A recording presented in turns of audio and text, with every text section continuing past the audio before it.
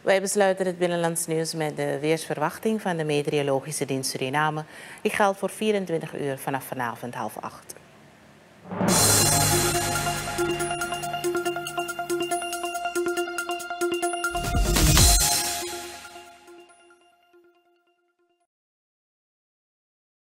Tijdens de avond en nacht meer in het binnenland enkele buien mogelijk met onweer.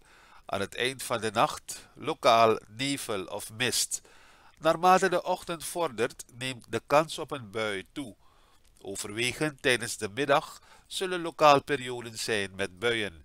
In het binnenland is de frequentie van buien groter en komen ook enkele onweersbuien voor.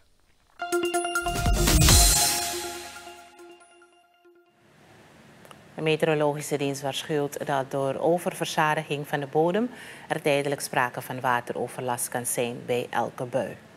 Tot zover de binnenlandse informatie in het journaal.